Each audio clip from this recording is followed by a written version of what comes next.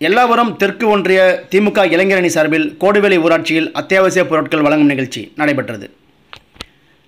பெரியபாளையம் அருகே எல்லாவரம் தெற்கு ஒன்றிய திமுக இளைஞரணி சார்பில் கோடுவேலி ஊராட்சியில் உள்ள இந்திராநகர் படவெட்டமன் நகர் ஆகிய பகுதிகளில் உள்ள ஏழை எளிய மக்களுக்கு ஒன்றிய இளைஞரணி அமைப்பாளர் கோடுவேலி எம். குமார் ஏற்பாட்டில் திருவள்ளூர் வடக்கு மாவட்ட செயலாளர் கும்மிடிப்பூண்டி கி. வேணு பூந்தமல்லி எம்எல்ஏ ஆ. கிருஷ்ணசாமி தலைமை செயற்குழு உறுப்பினர் பிஜே மூர்த்தி ஒன்றிய செயலாளர் ஆ. சத்யவேலு மாவட்ட துணைச் செயலாளர் கதிரவன் மாவட்ட வழக்கறிஞர் அணி அமைப்பாளர் தேவேந்திரன் மாவட்ட இளைஞரணி துணை அமைப்பாளர் கே வி லோகேஷ் மாவட்ட கவுன்சிலர் சித்ரா முனுசாமி ஆகியோர் ஐநூறு குடும்பங்களுக்கு தலா எட்டு கிலோ அரிசி மளிகை மற்றும் காய்கறிகளை வழங்கினர். நிகழ்ச்சியில் ஒன்றிய நிர்வாகிகள் பாஸ்கரன் முனுசாமி டி கே முனிவேல் மாவட்ட பிரதிநிதிகள் பாஸ்கர் சம்பத் விஜே சீனிவாசன் கோடுவெளி முரளி ஊராட்சி செயலாளர் அன்பு ஆகியோர் உடன் உணர்ந்தனர்